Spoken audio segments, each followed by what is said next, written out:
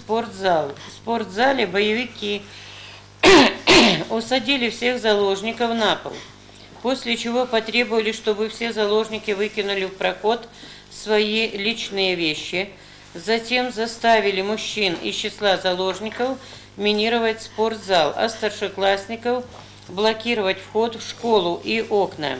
В течение первого дня боевики разрешали выходить в туалет и приносить с собой воду. 2 и 3 сентября боевики полностью запретили выходить, и большинство заложников мочились под себя. 3 сентября, примерно в обеденное время, в спортзале прозвучал взрыв. От данного взрыва меня оглушило. Тогда же в зале взорвалась вторая бомба. Э, какая из бомб последствий какая из бомб последовательности взорвалась, я не увидела.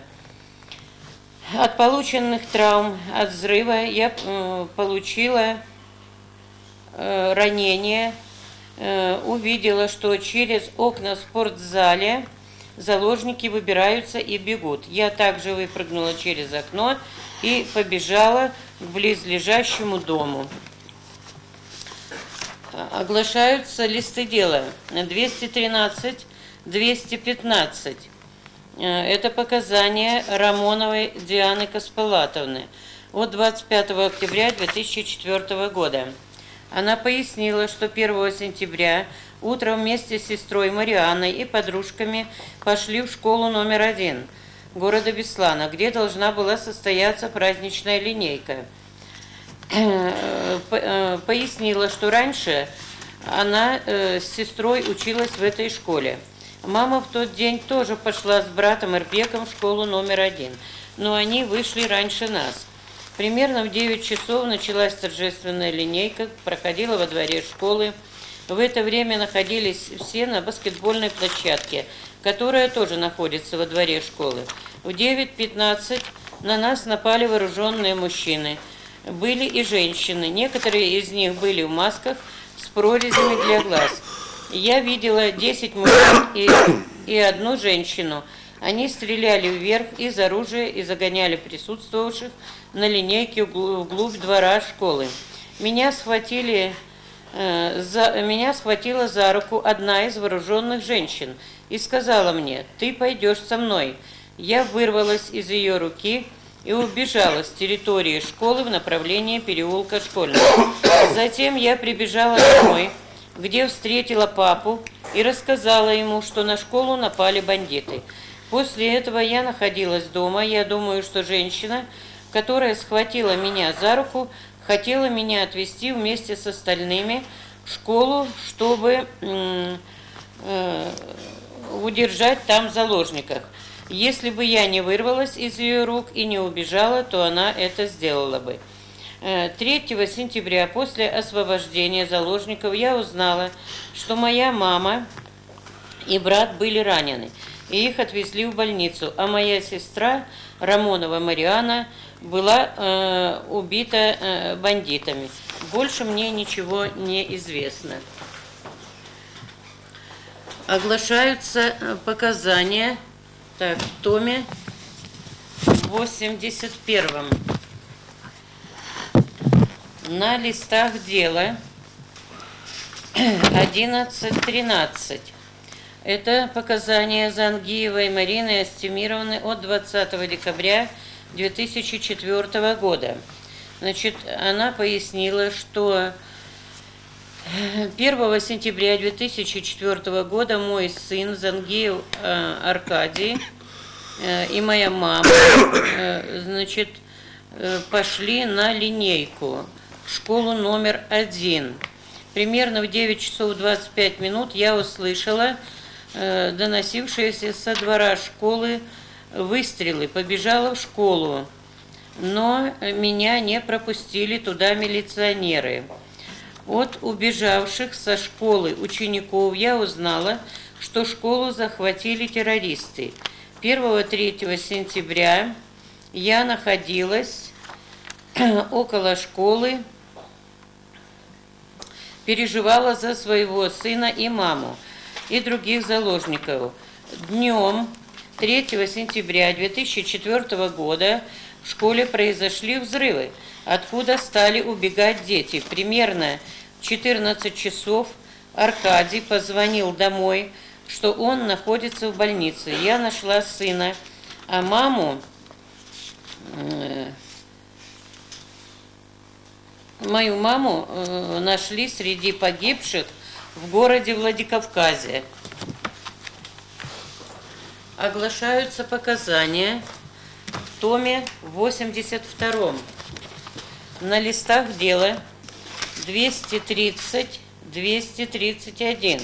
Это показания Герасимова Александра Александровича от 19 ноября 2004 года. Он пояснил, что я, Герасимов Александр э, Александрович, был призван на военную службу военным комиссариатом Лефортовского района города Москвы, проходил ее в войсковой части 3499 и, э, э, значит, был вот командирован в город Беслан. Э, значит, ну, он поясняет на вопрос, э, значит, пострадал ли он, он говорит, что э, и в его подразделении кто-либо пострадал, он говорит, да, пострадал старший лейтенант Целовальников, был ранен в плечо, а ему, значит, было, он получил ранение, э, закрытую черепно-мозговую травму, баротравму. Э, но гражданский иск в связи с причиненным вредом он не желает заявлять. Оглашаются показания потерпевших в томе 83 на листах дела 160 163 это показания Голоднева Игоря Сергеевича от 13 января 2005 года. Значит, он пояснил, что 1 сентября, э, да, он учится в восьмом классе школы номер один города Беслана с первого класса. 1 сентября примерно в 8.45 вышел из дома, пошел в школу со своим соседом, одноклассником Калоевым Русланом. Значит, поздоровались, стояли они там с друзьями, и в это время он увидел, как возле ворот школы со стороны Коминтерна остановилась автомашина ГАЗ-66 цвета хаки, из которой вылез э, мужчина в военной форме, бородатый, э, военной кепке с оружием в руках. Я разглядел, что оружие было у него с оптическим прицелом и глушителем, так как я видел, как этот бандит выстрелил в одного мужчину, который стоял возле ворот школы, Однако звука выстрела я не слышал. Увидел это я с Русланом. Увидев это, я с Русланом побежал в сторону переулка Школьный. Перепрыгнул через забор школы и забежал э, э, в какой-то частный дом, где живет какой-то старик. В это время я слышал выстрелы и взрывы, и мы спрятались. А, мы спрятались в это время в, э, в общем, в огороде указанного домовладения разорвалась граната. И, э, так, ага, и, э, значит, поломались стекла в доме. Мы э, просидели в этом доме примерно до 13 часов, пока нас не забрал отец Руслана. Затем мы узнали, что нашу школу захватили террористы и держат заложников, которые были во дворе школы. В результате указанных э, преступных действий мне был причинен моральный вред. Значит, никаких телесных повреждений он не получил.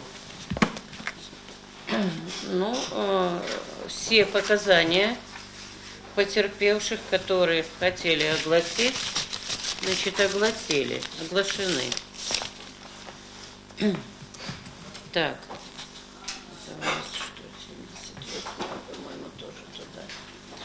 Так, ну будем, да, номер заявляем.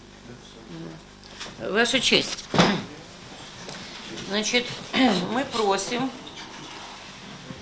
перейти к допросу свидетелей,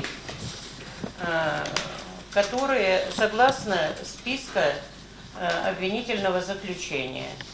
Значит, на сегодня приглашены были 12 свидетелей, но, как установлено, явились двое.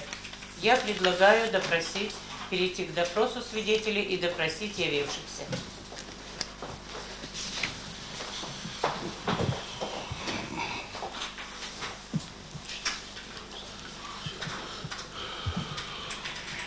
С учетом мнения стороны обвинения о том, что необходимость в дальнейшем оглашения показаний потерпевших отпала, и в соответствии с определенным порядком исследования судебных доказательств суд переходит к допросу свидетелей.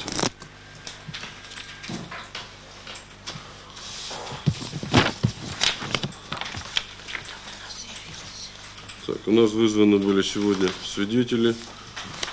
Явились свидетели Ушаков и Букоев. Пожалуйста, пригласите свидетеля Ушакова.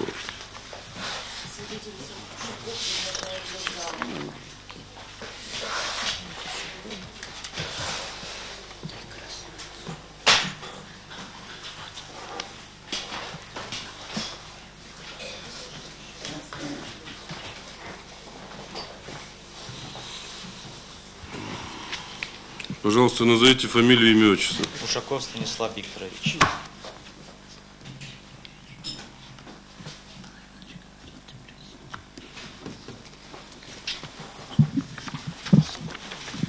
Число, месяц, год рождения. 16 ноября 1980 года.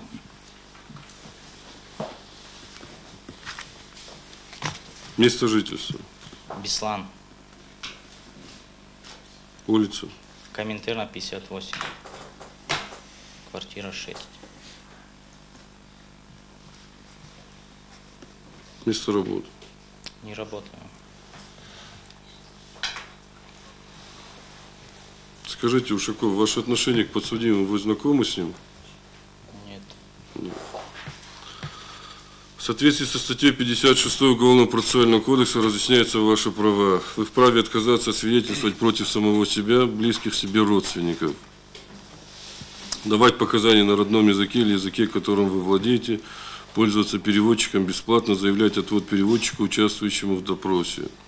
Заявлять ходатайство, приносить жалобы на действия бездействия суда. Являться на допрос со своим адвокатом в соответствии с частью 5 статьи 189 Уголовно-процессуального закона. Ходатайствовать о применении мер безопасности в соответствии с Уголовно-процессуальным законом. Кроме того, вы предупреждаете в соответствии со статьями 307 и 308 Уголовного кодекса задачу заведомо ложных показаний и из-за отказа от дачи показаний. В связи с чем, пожалуйста, дайте суду подписку.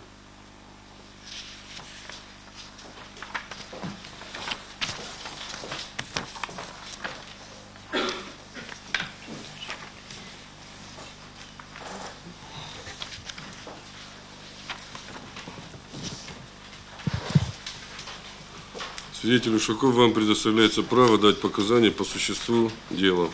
Пожалуйста. Станислав Викторович, кто из членов вашей семьи оказался заложником? Сестра. Ну?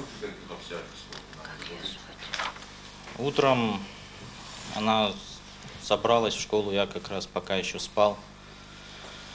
Позвонил брат, позвонил брат, и мать спросил, где сестра.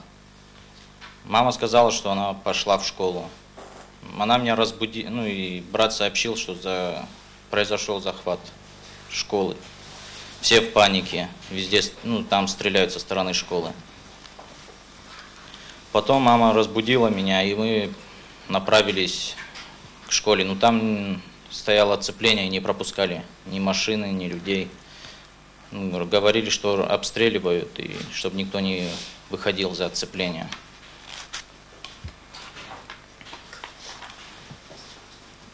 Что еще? Все это время где вы находились? Вот за оцеплением. 3 сентября что было? 3 сентября мы находились в районе Дворца культуры в Беслане. И потом, когда произошел взрыв, началась стрельба, люди начали туда-сюда метаться, ну, что в школу взорвали. Потом начали детей носить на руках. Также пе- перекинулась стрельба на Октябрьскую, по-моему, там тоже в районе Октябрьской стрельба шла. И потом мы, когда увидели, что скорые помощи начали подъезжать и вывозить детей, мы с друзьями пошли в больницу ис- искать сестру. Где вы Да. нашли сестру? В городе, в детской больнице. Повреждения какие у нее? Повреждения на одной ноге раздроблена кость была, Елизарова поставили аппарат, на другой ступня переломы, осколки в районе позвоночника, потом ранено плечо было, сквозное ранение. Потом осколок попал вот в эту часть, в скулу, выбил зуб, и зуб попал в носопазуху, это оперировали в Москве. Так. Что-нибудь хо- хотите вы еще такого? Не знаю, что еще сказать. Станислав, а скажите, когда вот взрыв, взрыв произошел, где вы были находились в тот момент? В районе Дворца культуры. То есть вы не видели, как оно э, произошло, из-за чего взорвалось, да? Нет, не видел. И еще, а наблюдали, когда вот пожар и когда крыша обвалилась спортзала? Нет, мы когда туда уже ближе начали подпускать, то там только подпустили его до Октябрьской, где вход, ну, дорога идет в сторону есть вы школы. сами очевидцем не были Нет. событий? Нет. Скажите, пожалуйста, а в это время, в эти первые три дня, первые дня, вы не видели никого там? Кто-то говорит, сколько заложников, что случилось, что произошло? Ну, только если средства массовой информации, вот им давали информацию вот Вы по телевизору. слышали? Я сам... Нет, я только слышал от этих, от корреспондентов, что было 354. Ну вот в районе Дворца культуры 2 числа. По-моему, 2 числа 354 или где-то, да. Да. Ну так разговаривали, потому что потом спрашивали, это точно, не точно. Еще ходили, выясняли. Ну, потом, по-моему, сообщили, что там гораздо больше людей. Не 350, Потом оказалось гораздо больше, вы сообщили. гораздо больше оказалось. Да. А вот сам процесс штурма вы не наблюдали? Не, туда никого не подпускали из гражданских. Кто штурмовал, не знаете, да? А пожарных вы там видели? Видели, когда уже бо- более-менее стихло вот обстрел. Тогда вот выезжали пожарные, но сколько машин было, я не помню. После взрыва уже это было? Да, это уже было после взрывов. Спустя какое время? Ну, нет, конечно, примерно. Может, через час даже, я не помню. Ну, когда вот уже начали подпускать, вот где въезд в сторону школы на Октябрьской, вот Это уже тогда. люди выбегали из школы? Нет, После того, как выбегали? нет, это не когда выбегали. Когда выбегали, там еще стреляли и людей не пропускали. Там люди наоборот, кто в больницу бежал, кто, когда стрельба раздалась на... Бежали из зала, из школы бежали? Нет, вообще вот все когда услышали, что скорые возят больни... ну, как вот, пострадавших, кто ранен, кто, кто как пострадал в это в больницу нашу. И все люди ринулись, половина туда ринулась, другие стояли еще ждали. А вот выстрелы вы слышали, кроме взрывов самой школе? Ну, какие-нибудь выстрелы, такие из тяжелого оружия слышали? Из тяжелого, из тяжелого только если вот подствольные гранатометы разрывались. Вот выстрел из подствольного гранатомета.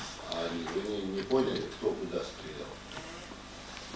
Со стороны, по крайней мере, по-моему, со стороны школы стреляли, разорвалось около э, детского сада ручеек. В районе него взорвалось. А танки вы не видели? Танки уже потом видели. Вот когда уже ехали сестру в городе искать, тогда.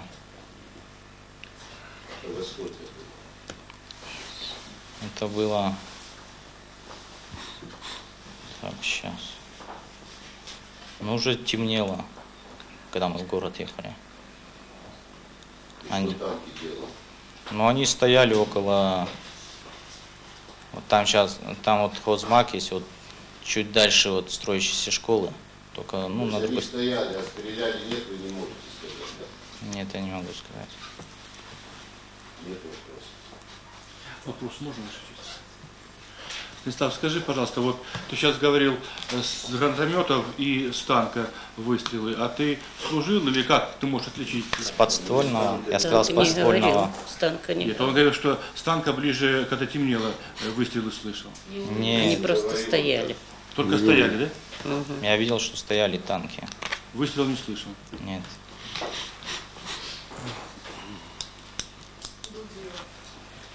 Славик, вот эм, вокруг дворца собирали списки тех, кто мог оказаться в школе.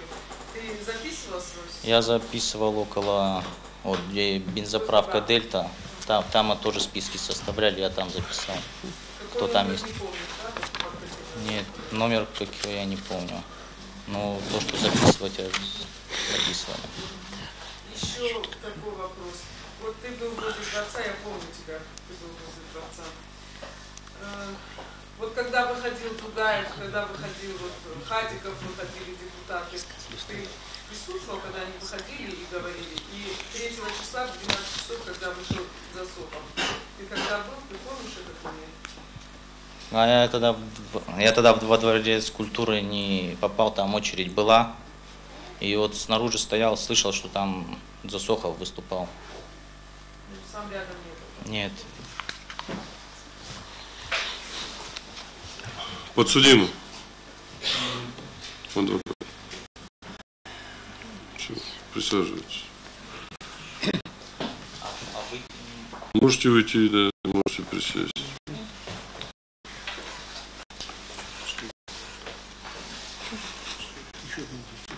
Пожалуйста, пригласите свидетеля Ушакова, Бакоева. Букоева.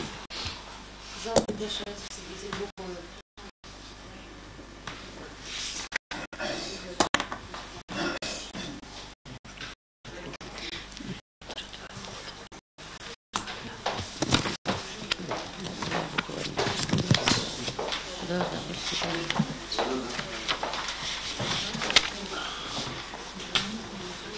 Пожалуйста, назовите фамилию, имя, отчество.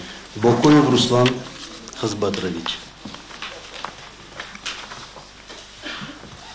Букоев Руслан Хазбатрович.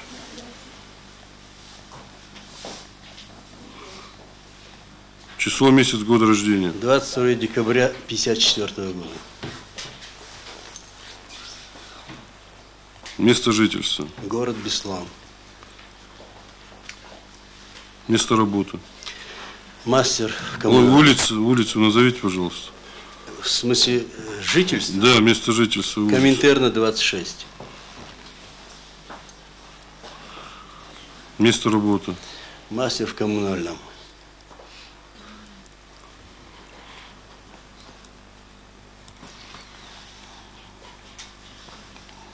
Букоев, ваше отношение к подсудимому. Вы знакомы были ранее с подсудимым? Нет. Нет. Соответствии со статьей 56 Уголовно-процессуального кодекса вам разъясняются ваши права. Вы вправе отказать свидетельствовать против, самого себя и близких своих родственников. Давать показания на родном языке или языке, которым вы владеете.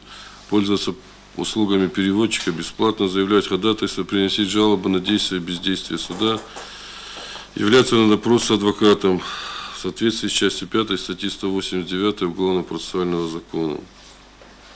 Ходатайство – это применение к вам мер безопасности. Кроме того, вы предупреждаете в соответствии со статьями 307 и 308 Уголовного кодекса Российской Федерации за дачу заведомо ложных показаний и отказ от дачи показаний. В связи с чем дайте подписку суду, пожалуйста.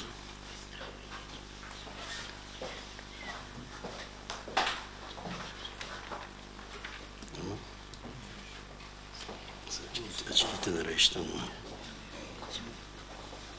Это вообще. Свидетель Буклой, вам предоставляется право дать показания по существу дела. Пожалуйста. Ваша честь, эм, я ехал сюда по повестке, как бы представлять интересы пострадавшего, моего сына, девятиклассника, оказавшегося в теракте в школе номер один. Он сам не может это делать, поэтому здесь меня определили как свидетели. Не знаю, насколько мои свидетельские показания могут быть интересны суду. Мне было проще, если вы наводящими какими-то вопросами мне помогли. Буклой, свидетелем вас не суд определил, свидетелем вас определило следствие. Ну, в принципе, девушка записала как свидетеля. Поэтому, пожалуйста, прокуратура, задавайте вопрос. Руслан, кто из членов вашей семьи оказался? Мой сын девятого класса, Станислав Русланович, вышел оттуда с тяжелейшими ранениями. Живой, но очень тяжелые ранения у него были. Сами когда вы узнали о захвате? А захват я узнал буквально 8-17. Буквально я должен был выехать со двора.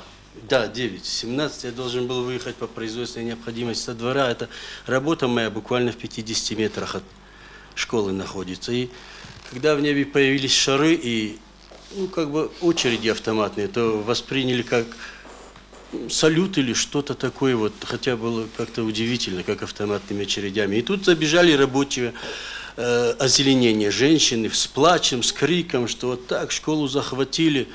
И это было буквально вот 9.17. Я прям по часам запомнил. Ну, мы все выскочили на улицу. Ну, что, что можно предпринять? Вообще, что происходит, и толком-то еще не знали. Вот вроде все, что дальше. А дальше что происходило? Ну, дальше происходила стрельба. Все стреляют, милиция стреляет, куда стреляют. Я находился там рядом, без оружия, но рядом. И все просили присядьте на колени. Помню момент еще такой ужасающий, что вот как раз в этот самый разгар поезд остановился, там шесть цистерн с пропаном, они как раз со станции вышли и в город шли. И вот как раз против школы они стали, скорее всего, полные. Это еще людей тоже, вот, кто рядом был, ужасало. Боже мой, один выстрел по цистерне. и Бог знает, что там вокруг будет. Так в поле вашего зрения школа не находилась? В Там? принципе, она не может находиться. Там такой проулок маленький, частные дома, и вот сад. Ну, это буквально 50 метров, не больше.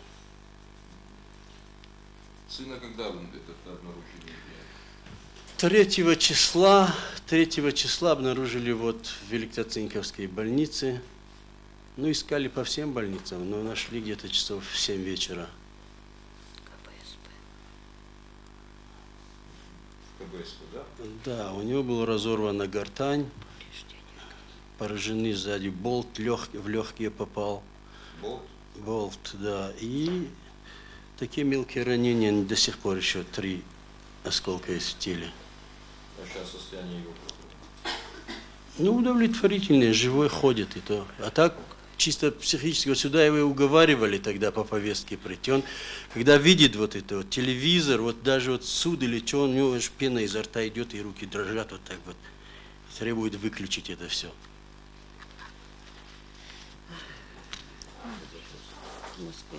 Скажите, пожалуйста, вот э, э, когда 3 числа штурм был или когда взрывы произошли, вы где находились? Вы знаете, вы все вот дни находились там, да? Рядом?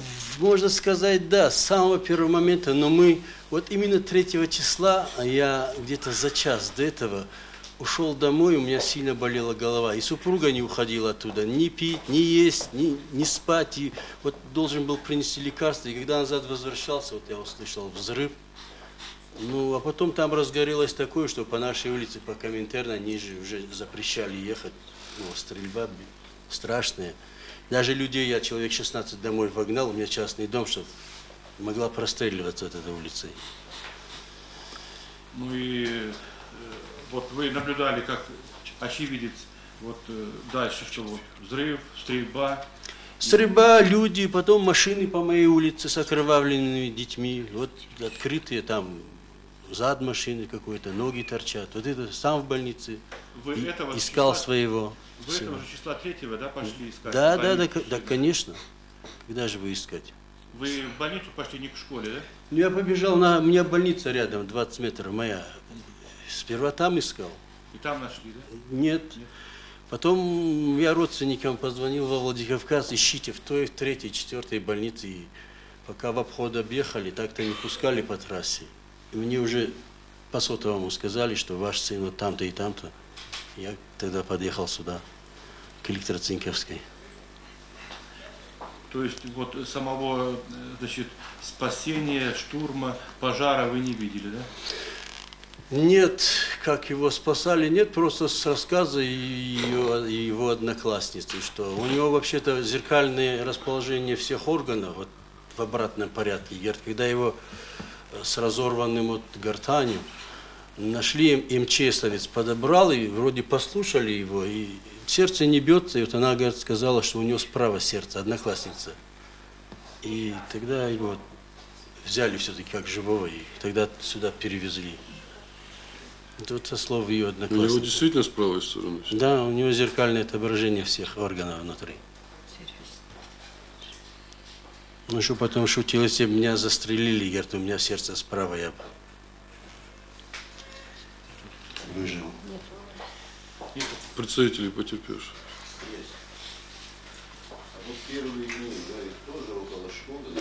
С первых дней я был, сперва не выходили, не выпускали со двора коммунального, там приходилось слушать вот первые известия конкретно о людях. Вот может вас интересует, первое же эхо Москвы передало, что в Беслане захвачена школа 157 человек. Вот это было самое первое. Я еще, еще вокруг же меня все работники подходили, что как можно, о чем говорят. Там что, только первые классы были и вторые, что ли. Там такая большая школа. На 600 с чем-то человек рассчитанная, а больше 900 человек училось. Ну, там списки-то потом около дворца кто-то делали что-то, но я не вникал. Вообще, зачем это нужно было мне? Я просто удивился, что 157 человек. Вот это была первая цифра. Потом через часа три уже 354 прозвучало. Радио, радио. Вот я только по радио и мог ориентироваться. радио Эхо Москвы. кто? А кто знал? Эхо Москвы в машине работает. Кто же мог знать?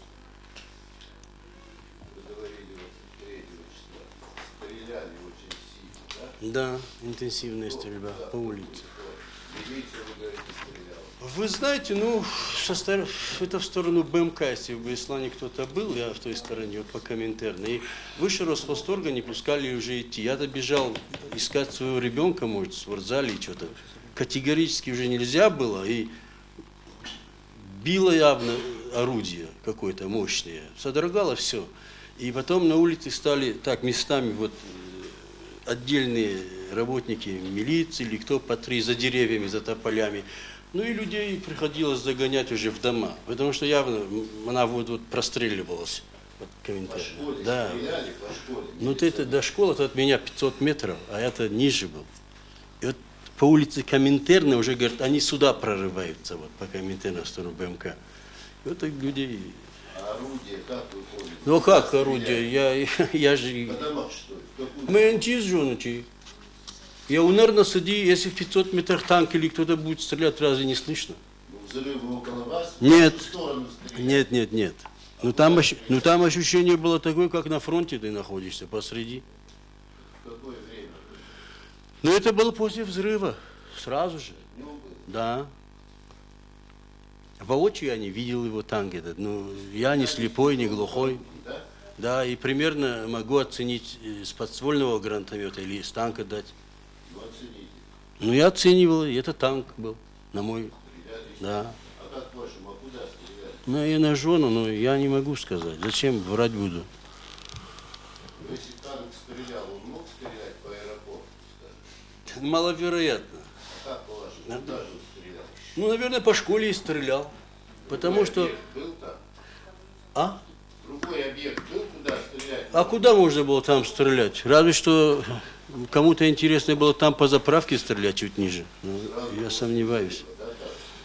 Да, и последний раз я слышал этот танк, когда стрелял, я приехал с больницы 4 минуты первого. Я остановился около администрации, высадил там работника, посмотрел на часы, было 4 минуты первого ночи. Тогда Вот тогда он, я вот так, как сейчас перед Богом, перед всем, говорю, что да. Тоже, Четыре минуты первого. а между. После чего моя сестра отказалась даже, чтобы я ее не повез коротким путем до дома. Прокурор говорит, ночью точно стрелял, а днем не точно стрелял. Ну, днем, видите ли, я вот днем в этой, я мог, я, ну, навряд ли я бы ошибся тоже. Ну, что я же, что таки, и в армии был. Ну, а так точно будет, что из чего-то тяжелого какого-то стрелял? Ну, там мне трудно судить, я могу подствольный гранатомет отличить. Ну, вы сказали, И- что... ну, мне ощущение было танк. Я, ощущение мое из танка. Вы поняли, что. Да. Ну, он ответил уже, что это был танк. Ну, уже, ну, что мы еще?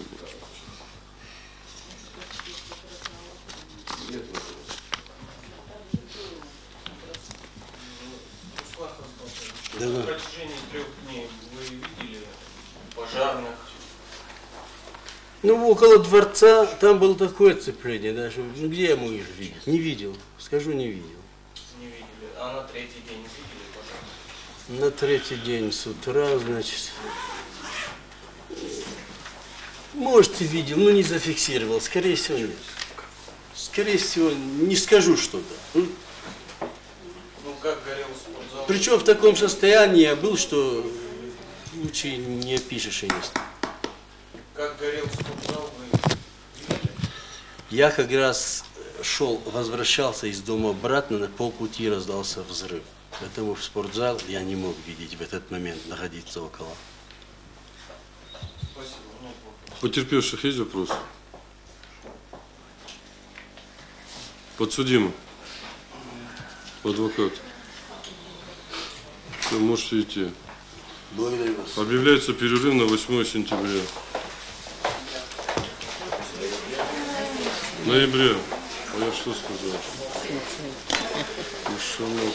И я написала. Да.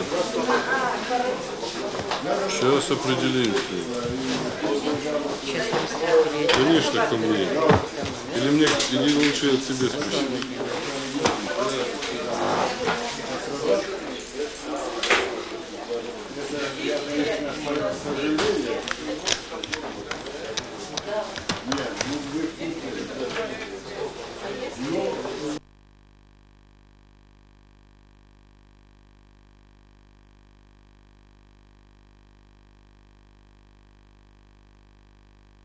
Еще был. Есть такие, нет? Сейчас не...